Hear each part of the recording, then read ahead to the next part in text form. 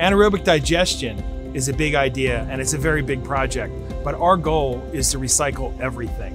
Keep all of this organic material out of landfills and incinerators and keep it from being land applied.